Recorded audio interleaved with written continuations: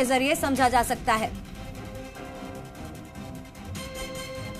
और चलिए आगे बढ़ते हैं। जालौर के रानीवाड़ा विधानसभा क्षेत्र में मौसम ने करवट ली है। सुबह चार बजे से ही तेज बारिश का दौर लगातार जारी है और आपको बता दें उनचास एम बारिश दर्ज की गई है। तो वहीं रानीवाड़ा शहर में पानी निकासी नहीं होने से मेन बाज़ार में दो दो फीट तक पानी भर गया है और कई दुकानों में पानी भर गया आपको बता दें जिससे व्यापारियों को काफ़ी समय से आ, समस्या झेलनी पड़ रही है और कई जनप्रतिनिधि आए हैं और कई जनप्रतिनिधि चले भी गए। लेकिन रानीवाड़ा शहर में पानी निकासी का कोई भी समाधान नहीं किया गया जिसका खामियाजा लोगों को झेलना पड़ रहा है।